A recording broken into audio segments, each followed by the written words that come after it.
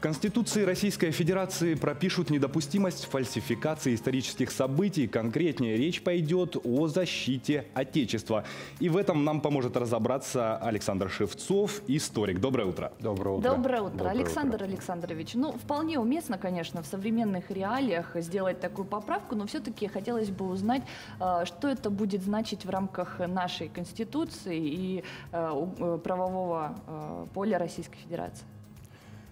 Ну, то, что искажение истории недопустимо, это об этом говорили еще многие русские философы. Ну, например, Иван Александрович Ильин, который предупреждал о том, что нельзя допустить денационализации народа, то есть потери национального самосознания. А это и есть, в общем-то, наша историческая память, это есть правда о тех событиях, которые имели место быть. Мы этими событиями должны гордиться какие бы мы они ни были. Об этом и Александр Сергеевич Пушкин говорил. Я благодарю Бога за ту историю, которая мне дана, и другой бы не хотел. Александр Александрович, и э, давайте здесь узнаем, все-таки уточним у вас, что же эта самая поправка будет э, означать в рамках мировой политической арены. Но она будет означать э, то, что тот авторитет, который мы завоевали, он будет сохранен. И это будет гарантировано юридически теми поправками, теми нормами, которые внесены в нашу Конституцию. Э, Хотелось бы уточнить, как по-вашему, насколько это важно вот э, в рамках мировой политики? Ну, важно э, действительно, чтобы была сохранена правда, чтобы не было возможности фальсифицировать и на основе фальсификации манипулировать сознанием. Сегодня не секрет, что если мы искажаем правду, то можно людей направить по ложному пути, отказаться от тех ценностей, которые реальны, которые действительно стоят того, чтобы их отстаивать.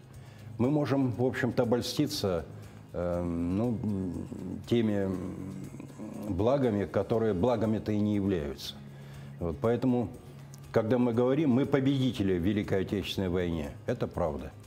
И эту правду мы должны отстаивать любой ценой.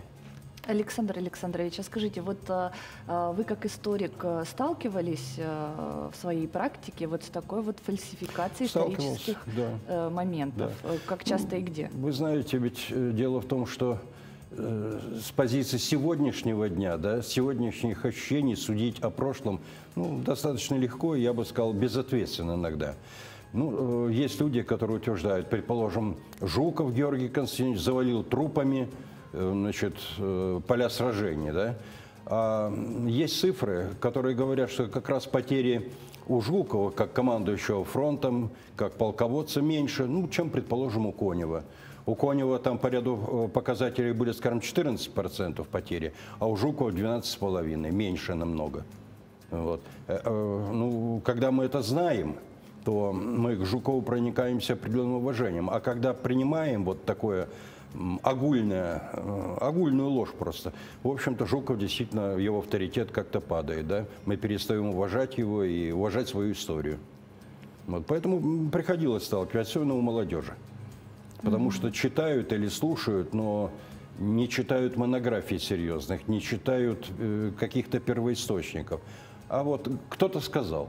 Это кто-то сказал, но, в общем-то, и есть фальсификация. Полностью согласна. Сейчас у молодежи на самом деле очень поверхностные знания, и достаточно зайти э, в интернет для того, чтобы узнать две-три строчки о каком-то событии или происшествии или о человеке, а в целом вглубь, да, никто не хочет. э, Радует только одно, то что, слава богу, что не у всех молодых людей вот э, такие ошибки бывают.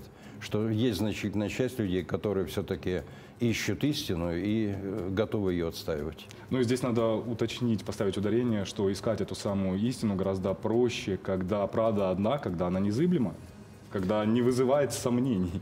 Да, когда она э, каким-то образом в сознании закреплена. А еще лучше, если она будет закреплена и юридически. И к чему мы сейчас и идем. Александр Александрович, огромное вам спасибо, что это утро встречаете в нашей компании. Но а нашим телезрителям хочу напомнить, что сегодня у нас в гостях был Александр Шевцов, историк, член Государственного президиума Российской Федерации. Ну,